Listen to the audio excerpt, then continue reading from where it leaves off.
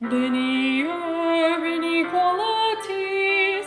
It's a line that divides graphs into half by a boundary and has a region of solutions.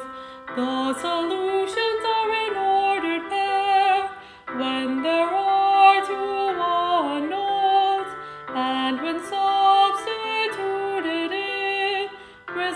results in true.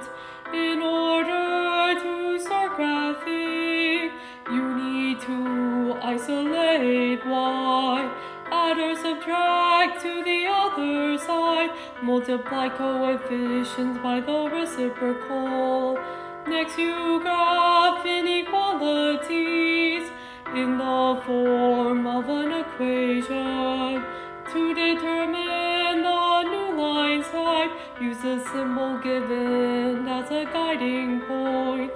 If the symbol includes an equal to sign, draw a solid line. If the symbol does not have an equal to sign, draw a dashed line. Now you have to shade a region of solutions. If the symbol includes a less sign, shade below the line. If the symbol includes a more than two sign, shade above the line.